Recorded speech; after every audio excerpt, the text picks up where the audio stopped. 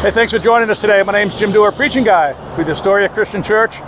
Down here at Astoria's Full Fitness Center over there, and right behind me is the CrossFit 1811. Don't know what the 1811 stands for, but that's where we're at. We are at the place where bodies get in shape, and that usually takes discipline, which is what we're going to be talking about today private disciplines. A couple days ago, one of the guys in our church put this post up on Facebook that said, I, I wish I could drop my body off at the gym and pick it, pick it back up when it's done. That's my kind of discipline. A buddy of mine in, in Haiti years ago, Troy Livesay, uh, put this on his Facebook page. He, uh, he said he finally got around to running on the treadmill that he had had in the house for quite a while. It is, he said, my wife mocked me and and my daughter said, well, finally you're going to use that thing. And he said, his son said, uh, keep going, fat daddy. oh, we don't like discipline. Most people do not like discipline. It's a horrible word to a lot of people. We love to ignore discipline. Maybe a good definition of discipline is uh, things you're supposed to do, but you don't want to do like getting up earlier, getting out of bed. That can be hard. Eating better, eating healthier, eating less, saving money, spending less money, spending more time with the kids, spending more time with the family, reading more, studying more, finish that degree, call your mom. Things that we know we should do, but we don't want to do. And so it's real easy just to shove them off and eventually they never really get done. As a matter of fact, that'd be a really cool question to have uh, with the people in your world. Just maybe uh, ask, where do you need more discipline? Be a good conversation to have. All this talk about discipline is can be guilt-inducing. I don't want you to finish watching this and you know just decide, oh my gosh, I'm a loser. I might as well quit trying. That's that's not what I'm after. I'm just trying to be honest about the fact that most people really don't care for discipline. It doesn't come easy for a lot of people.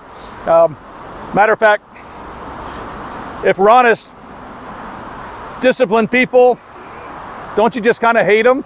Like that neighbor that rolls out of bed at five o'clock in the morning and puts on those cute little shorts and goes ripping out the road. You don't see him for five hours. He's out running. You know, oh man, you know, you ought to be doing that or that or that coworker, the end of the shift, the end of, of every day, his desk is clean. He's like, because you got pile of junk over yours. We we just tend to kind of not really like those people. I remember one time going to lunch with uh, with a guy and, and I was explaining why I, I, couldn't play racquetball anymore because I didn't like the court and, and they played differently and consequently you know I wasn't getting the exercise I knew that I needed and I didn't know that he was like a world-class bodybuilder and there was no sympathy at all. There's like, he looked at me and said, sounds to me like you're just making a bunch of excuses. I didn't like him very much right then. And why didn't I like him? Because deep down inside, I knew he was telling me the truth. If I really wanted to get in shape, guess what? I'd find a way to get in shape. It was a kick in the pants that I needed. I never went back and played racquetball, but at least I had a kick in the pants. I, I guess that's worth something. But the thing is, disciplines, when you engage with them, quite often become very enjoyable habits. They can even become um, addictive. I, I, think of, I, I have some friends that are really into cycling and they love it. I've got friends that are really into running and, and they love it. I've got friends that are into weightlifting and, and maybe at first it began as hard work and you had to force yourself to do it, but over time it becomes a habit and then it becomes enjoyable. Uh, my wife had this post up a couple days ago on Facebook. You'll you'll never always be motivated, so you must learn to be disciplined. You'll never always be motivated. You won't always want to do it, but the disciplined person does it anyway. We're doing a series called Faith Fertilizer How to Grow Your Faith Big. It's by Andy Stanley. He polled his congregation to find out what are the dynamics, what events occurred in your life to help your faith get real big. And, and there were five, and this is the last one that we're going to be looking at. Next week, we're going to do a case study on, uh, on an encounter Jesus had in the Gospels. But he, he says in that series that um, discipline always results in progress. whether you have the right attitude or not, whether you don't want to do it or you want to do it, if you do it, it's going to result in progress. And he says it also results in freedom. I, I think of athletes and they're out there on the baseball field or the football field and they look so graceful and everything appears to come so easily to them. Why is that? Because they're free to perform because of the discipline, because of the muscle memory, because they don't have to think, they just know how to react. The same sort of thing can happen in your personal life. You can experience freedom financially, in, in spiritually, relationally, every area of your life, you can experience some freedom. Discipline is basically all about delayed gratification. Saying no to something good for now so that you can experience something better later. Delayed gratification. Someone once said that there's two pains in life there's the pain of regret, and there's the pain of discipline. And only one of them goes away. The pain of regret does not go away. And what I want to do in, in this message today is, is to encourage you that, that there are disciplines out there that can help you grow your faith so that decades from now, years from now, you don't look back and go, oh man, I wish I had started this so much sooner. I, I, wish I had really invested into my relationship with God so much sooner. That's what I hope happens for you. Now, this whole idea of spiritual disciplines is not something that is man made. We didn't just come up with it to lay another burden on, on church people or Christians. Jesus himself modeled this. For example, in Matthew chapter 4, he spent 40 days in the desert. Uh, during that period of time, he was tempted uh, by Satan. And, and Matthew is clear to tell us that he was led there by the Holy Spirit. And most scholars agree that that, that 40 day period prepared him for the public ministry that took place immediately after that. So Jesus practiced spiritual disciplines. And then right after that, in the Sermon on the Mount, starting in Matthew chapter 5, Jesus says to his followers things like, when you give, when you fast, when you pray. It wasn't if you decide to do these things. The expectation he had was that if you're my follower, these are going to be part of your life. If if you were to poll some of the strongest Christians you know, they, they've got a deep, abiding faith and nothing really seems to shake them. I'm going to bet that you're going to find somewhere in their life they have learned a discipline or two or three. There are spiritual disciplines that have rooted them and given them a depth and a foundation that cannot be shaken. Maybe talk to one, find one that you admire, and ask them, What do you do that builds faith, that has built faith into your life? Because I want that. Now, here's, here's something that might surprise you to hear me say, but I don't believe that your faith and when you received the Holy Spirit, when you were baptized into Jesus for the forgiveness of your sins, received the gift of the Holy Spirit, those are not sufficient to grow faith in you. You've got a role to play. This isn't just something God dumps on you and all of a sudden you have instant spiritual maturity, instant spiritual faith. And the Apostle Peter apparently agreed with me. Let me read from um, 2 Peter chapter 1, beginning at verse 2. This is the Living Bible translation. Peter writes, Do you want more and more of God's kindness and peace? Then learn to know Him better and better. For as you know Him better, He will give you, through His great power, everything you need for living a truly good life. He even shares His own glory and His own goodness with us. And by that same mighty power, He has given us all the other rich and wonderful blessings He promised. For instance, the promise to save us from the lust and rottenness all around us, and to give us His own character. That's what I want. Isn't that what you want? To know more and more of God's kindness and peace and escape from the, the, uh, the rottenness of the world around us? Now he says, here's how you get it. But to obtain these gifts, you need more than faith. You must also work hard to be good. And even that is not enough. For then you must learn to know God better and discover what He wants you to do. Next, learn to put aside your own desires so that you'll become patient and godly, gladly letting God have His way with you. This will make possible the next step, which is for you to enjoy other people and to like them. And finally, you will grow to love them deeply. These things don't come naturally or easily to most followers of Jesus. There's a, there's a progression of maturity. The more you go on in this way, he says, the more you will grow strong spiritually and become fruitful and useful to our Lord Jesus Christ. I, I, want to be strong spiritually. I think you want that. I want to be useful to Jesus. I want him as he looks around Astoria and, and he wants someone to do a job to say, hey, there's that guy. There's that gal. There's that person. Hey, Lord, pick me, but I got to be ready. And that's where the disciplines come in. Good resources uh, for you to explore spiritual disciplines. I'm just going to give you an overview uh, today, uh, but I would recommend Dallas Willard's book, Spirit of the Disciplines. And um, Richard Foster, I think it is, wrote A Celebration of Discipline. Those are Christian classics. So if, if this is something you want to learn more about, let me steer you to those two books. But Dallas Willard talks about uh, two types of discipline. He talks about the discipline of, an, of, of abstinence, which is um, where you abstain for a certain period of time um, to a certain degree from the satisfaction of those things in your life um, that that are normal, that are legitimate.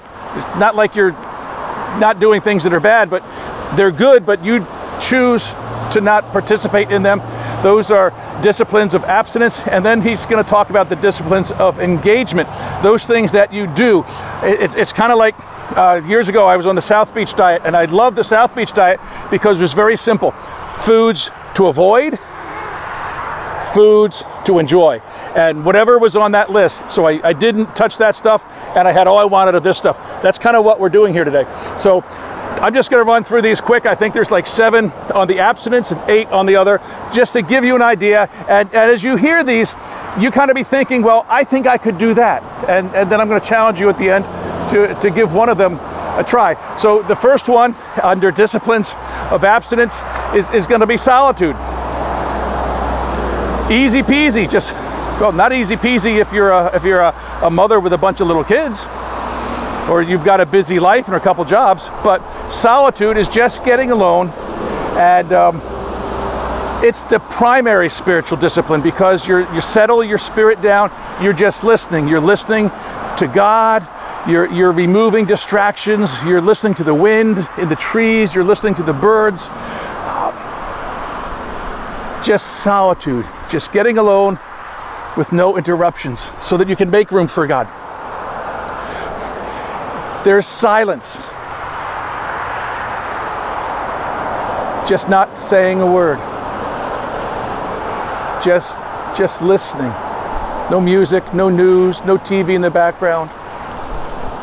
Just get somewhere and and just be still. And the Bible talks a lot about the value of of being still and being able to perceive God in those experiences. There's the discipline of fasting. This is this is where you abstain from food or drink um, for a specified period of time. Uh, you're feasting on God. You know, remember the devil tempted Jesus with with uh, food and and bread and and Jesus said, "Man does not live by bread alone, but from every word that comes from the mouth of God." This is this is learning to just feed your soul on the things of God. Um, Fasting teaches you how to be sweet and kind when you don't get what you want. Some of us get pretty snarky when we don't get what we want. Fasting also teaches you just how powerful your flesh is. You try and go one day or one meal, skip a meal and say, instead of this meal, I, wanna, I just want to pray, I want to focus on the things of God, or I want to read scripture. And you'll be amazed at how stinking hungry you are. Try and do that for a couple days, letting something go and it, you'll see just how strong your flesh is. The next one would be frugality. It's uh, just buying less, uh, just refusing to gratify every desire that you have. Just, you know, deliberately say, I'm not going to go on the internet, I'm not going to go on Amazon, I'm not going to go to my online shops for a period of time. I'm just going to be frugal. I'm just not going to spend all my resources and, and see what happens with that. The next one would be chastity. Chastity is, is abstaining um, from the sexual dimension of your life uh, for uh, an agreed upon period of time with, with your spouse. If, if if you're sexually active and it's not with your spouse, girlfriend, boyfriend, this, this would not become a spiritual discipline. This would then become a matter of repentance because the Bible is clear that we are to express our sexuality only in a committed relationship between a man and a woman. So, but within that relationship, there might be occasions where you choose to withdraw from each other so that you can draw closer to God. But you both have to agree to this. The next one would be secrecy. This, this would be choosing anonymity regarding the good deeds that you do or the good person that you are. And this is hard because Jesus said in the Sermon on the Mount that, you know, don't do your good works uh, before men so that you earn your praise from men because that's all you're going to get. He says, but you do your good works and let God be the one who rewards you. Um, the last one we're going to mention today is, is the idea of sacrifice. Letting something good go. Letting something legitimate go. Just, just give it up. Not because it's bad or it's taking you away from God, but, but because, well, for one thing, it's what God did. He gave his son. So he understands sacrifice. Jesus is called a sacrifice. Years ago, we were starting a church in Philadelphia, and um, we came across some homeless people, and it was very cold. It must have been winter, and um, or maybe it was Thanksgiving actually. And I had just bought my wife a beautiful down parka. It was like way down to her knees. It was heavy. It was very warm, and we're feeding these homeless people in downtown Philadelphia and next thing I know, here comes her coat. It's off and she's giving it to this person. And I was furious because it cost like a hundred bucks. And in those days, that was a heck of a lot of money. And she just gave away this beautiful coat. And she just put me to shame because she so willingly sacrificed something for somebody else in the name of Jesus. I, I have a lot to learn. So now I want to talk about uh, disciplines of engagement. These are designed to reconnect you to God and the kingdom of God. Again, we're just going to go through these very quickly and see if there's any of these that, that you might want to give a shot if you haven't before. The first one would be uh, the discipline of study. This is where you engage your mind primarily with the Word of God. Um, Often this is combined with meditation, that, that you would study the Word of God and, and then you would reflect on what God has said and what God has done in the Scripture and then how that applies um, to your own life. It's, it's thinking intently. And there are so many tools available online. There's so many books and programs. One of the one of the best experiences I ever had in this whole idea of study was I read through the entire Bible one year uh, using the Life Application Bible, and it just brought so much, especially of the Old Testament, which had tended to be a little bit confusing. It just helped it make so much sense. But I had to do it every day because I wanted to, and I was I, I, came away with a much better understanding of the entire biblical picture. So I, I, would recommend at least trying that. But there's so many different programs out there that you can use. Check it out. Uh, ask your pastor. Ask a, a, a, fellow believer that you really respect and admire. Heck, contact me. I'll, I'll, I'll steer you some direction. So there's the idea of study. There, there's the idea of worship. This is this is where you engage and you dwell upon, uh, where you express God's glory and God's beauty and God's greatness um, using words and symbols, um, using rituals. Uh, some people worship with dance. That would not be real good for me. It would be a comedy show, but some people do it really well. Some people worship with art, with drawing, with painting, but it's the idea of just expressing uh, who God is. Uh, there's celebration. This is very similar. Uh, this would be enjoying God with others, um, singing, dancing, telling stories of God's goodness and how He's working in your life, um, His action in your lives. David, remember from the Old Testament, the ark had come back into, into the city and, and he danced in his underwear Not recommending that's something that we want to do on a regular basis, but he was so overwhelmed with the goodness and the glory of God that he abandoned himself, didn't care what anyone else thought, and God was actually pleased with it. His wife wasn't so pleased, but God took care of her. Um, the next one would be service, uh, using your resources, using your strength and your gifts to, to help other people and to help God's God's cause. What is God doing in the world that you can give to, not just financially, but but sweat equity. And I'll tell you right now, there's no ministry alive that exists without the spiritual discipline of God's people exercising the discipline of service and their gift of service. There's prayer. Prayer is simply talking with God about what you're doing together. Um, my favorite example of prayer is if you've never seen it, go watch it the movie Fiddler on the Roof and the Russian peasant Tevye, who's an Orthodox Jew, but the way he talks to God, he doesn't wait till he's in synagogue. He doesn't wait till he's got the prayer shawl on and everything's right. He doesn't wait for the ritual moment. He talks to God all the time, and his prayers are absolutely hysterical prayer. Talk to God. It, it, you don't have to get down on your knees. You don't have to kneel beside your bed. If you want to, that's fine. I do a lot of my praying when, when I'm in bed. My head's on the pillow and I have trouble sleeping. I usually ta- take that as a sign from God. Hey, what do you want me to pray for? And I'll just lie there silently and, and see who comes into my mind. When you're driving, kick off the radio sometime and just use that, that time to talk to God. It, it can be done anywhere. There's fellowship, would be the next one, um, where you do common activities with, with other believers.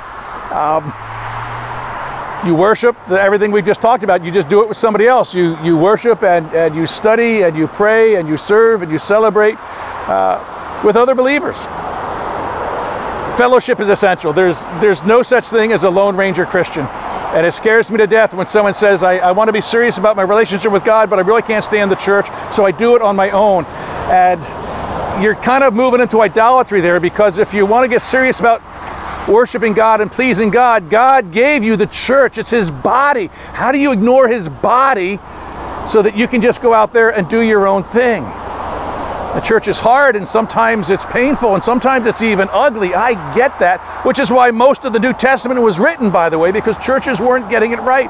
And so the, the, the apostles and the early church leaders were telling them, here's how you do church, but don't ignore fellowship. After that would come confession, letting trusted other believers know your, your deepest weaknesses, um, your failures, and, and let them encourage you to trust in God's provision and to trust in His forgiveness. You don't need a lot of people, but you need one or two. Who have you got that you can just confess to? If you don't have anybody, at least maybe start journaling. That's another one we could put on this. I'd even put journaling on the list. But confession, it's, it's important to get that out. Um, and lastly, we'll talk about submission. Submission is just, is just doing what others think best because we're so ego driven sometimes we, we are, we're really hard to get along with because we want our way. And yet the bible says we are to be humble we are to put the needs of others ahead of our own. We are not to think more highly of ourselves than we should. And so you can be deliberate in saying well i need to grow in this area so i'm going to practice the discipline of submitting. Whatever you want to do we will do. Take your ego out of it. Take your need to be in control out of it. Free yourself from the burden of always having to have your own way. We've just covered 15 different spiritual disciplines. That's a lot. Let me just give you a warning. The, the purpose is not so that you can arrive at some um, predetermined measure of spirituality. It's not so you can hit the mark and say, okay, I've arrived. Now I'm spiritually mature. The, the purpose is so that you, that you look more like Jesus, that you become more like God and what He wants you to look like internally and, and how you relate to other people. That's the goal. Not, not, not to be able to say, well, look at what I did. Look at what I've accomplished. Look how spiritual I am. The, the goal is to look more like God, not to compare yourselves to other people. They're called private disciplines for a reason. A few close friends might know that you're doing this so that you have some accountability and you have some encouragement, but these are where God does His work in the deepest places of your heart. Several years ago, we had a treadmill, and um, once in a while, we took the clothes off of it and actually used it. So Kim was on this deal where she was trying to lose some weight, and she would go up there every night and she'd spend half an hour, an hour on the treadmill watching a TV show or something, and I'd get an update. She'd tell me how many miles she went or how many calories she burned. And, and one night I was in bed and, and she was up on the treadmill and she came down and, and she snuggled in next to me and, and she whispered in my ear, she says, Am I small yet? and there was a long pause as I prayed, How do I answer this one? And then she said, be very careful how you answer that. Disciplines, any discipline, takes time. You may not see the results overnight, you may not see them for a few weeks, but over time, that spiritual faith muscle will begin to grow and get stronger, and it will become evident in your life. So, my challenge to you is out of all the 15 possible, and there are more spiritual disciplines that we talked about today, would you take just one? And if you're lazy, then pick the easiest one, which is probably silence. So I'm just not going to say anything for 15 minutes. Pick one and commit to doing that for 30 days and then see what happens. And ask these questions Am I closer to God yet? Is God more real to me? Do I sense God's pleasure with me? Is God being lived out through me in ways that I actually feel and can see? Is my heart getting bigger? Do I have more peace with God with other people, with myself? Can I see God's hand in more places? Do I have a greater sense of purpose? Do I have a greater sense of fulfillment? Is sin less attractive to me? Do I have a greater desire to know God? Is the thought of dying and entering eternity, is that desirable to me yet? And this is important. Let me read you a poem, or actually it's a prayer that Charles Spurgeon wrote a long time ago but it really applies here. If Jesus loves you and you are sick, let all the world see how you glorify God in your sickness. Let friends and nurses see how the beloved by the Lord are cheered and comforted by Him. Let your holy resignation astonish them and cause them to admire your beloved, who is so gracious to you that He makes you happy in pain and joyful at the gates of the grave. I love that expression. Let me read that again. Let your holy resignation astonish them and cause them to admire your beloved, who is so gracious to you that he makes you happy in pain and joyful at the gates of the grave. He whom the Lord loves is in a better case when he is sick than the ungodly when they are full of health and vigor. Friends, one day we're all going to leave this earth. Some are going to go younger, some are going to go much later. Some are going to go quite naturally, some are going to get sick, some are going to go by an accident, some are going to go any number of ways. But here, here's what I want to leave you with, and that is when you meet God, do you want Him to be a stranger? I don't have to wait till I see God face to face to start to get to know Him. Spiritual disciplines, a huge part of how you get to know God. And the more you get to know God, the more you yearn for the things of this world to fade and grow dim in the light of His glory and grace. Hey, thanks for watching. And if you're not already, I hope that you will really enjoy getting to know God better and better through the spiritual disciplines.